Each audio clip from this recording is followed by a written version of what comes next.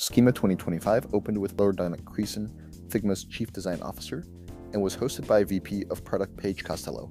Engineers Naomi Jung and Edward Im announced major performance improvements to design systems. Actions like updating variables or switching modes are now 30 to 60% faster thanks to a complete rewrite of the underlying architecture.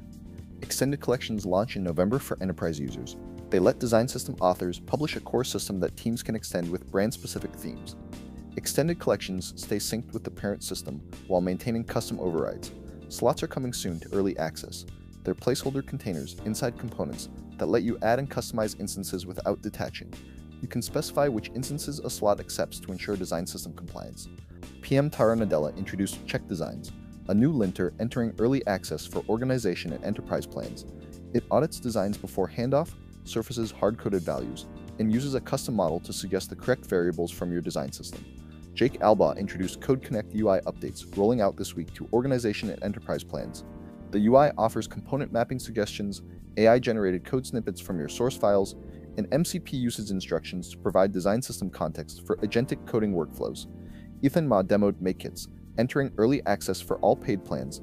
MakeKits convert Figma libraries into React code components and CSS files for use in Figma Make. You can import variants and use Make AI to edit the generated code.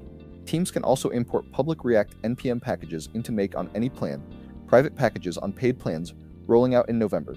Chad Bergman introduced native import and export for variables through JSON files available in November. This follows the Design Tokens W3C Community Group 1.0 spec. The variables authoring modal is also getting a full screen redesign to show all subscribed collections while you work. Variable mode limits increase this week. Professional plans get 10 modes per collection, organization plans get 20. Clasanda Grandison from Alaska and Hawaiian Airlines discussed navigating brand mergers with empathy and craft. Nathan Curtis explored how slots enable experimental design while maintaining system consistency. Rachel Bean from Google presented on building infinitely scaling design systems like material design.